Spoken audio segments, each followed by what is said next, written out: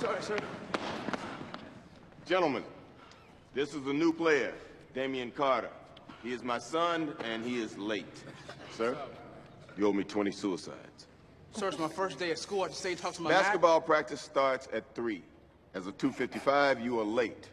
Get changed in the locker room. Do your suicides on the far side of the court so as not to disturb us. All right, gentlemen, give me two lines. Mr. Cruz, are you lost, sir? What I gotta do to play? Mr. Cruz, you do not want to know the answer to that question. Now, as I was saying, as a team, we shot 56% from the line. From now on, before you leave my gym, you must pay an exit price of 50 made free throws before you can go. That's everybody. That's a lot of free throws.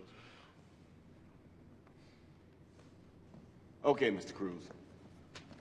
Before you can play on this team, you owe me